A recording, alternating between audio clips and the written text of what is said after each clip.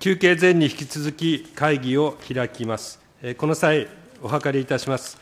本件調査のため、本日、政府参考人として、内閣官房内閣審議官、大西正二君、内閣府大臣官房長、大塚幸弘君、金融庁企画市場局長、中島純一君、総務省統計局統計調査部長、井上貴君、財務省大臣官房長、茶谷英二君、主計局次長、角田貴君、酒税局長、矢野康治君、厚生労働省大臣官房政策立案総括審議官、山田雅彦君の出席を求め、説明を聴取いたしたいと存じますが、ご異議ありませんか？